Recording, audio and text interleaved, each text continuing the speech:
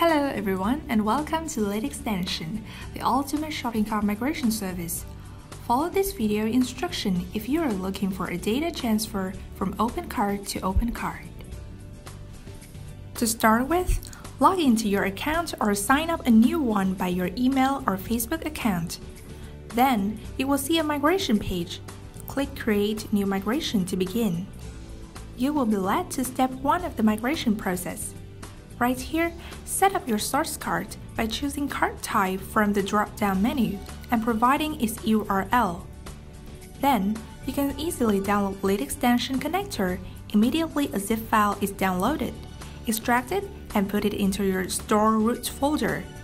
Back to your migration page, if you see a message, connection was successfully installed, it means you installed it properly. Do the same principle to set up your target store choose cart type, provide URL, and install connector.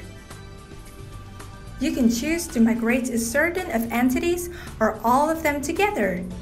Additional options below will extend your migration possibility.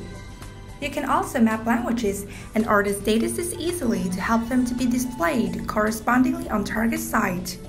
Move to the final step, it is ready for you to start full migration by clicking Skip Demo.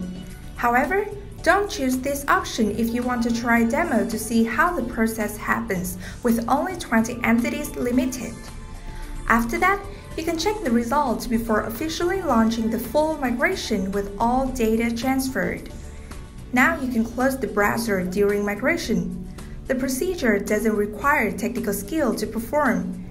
However, if you need further assistance, don't hesitate to contact us on litextension.com for more details.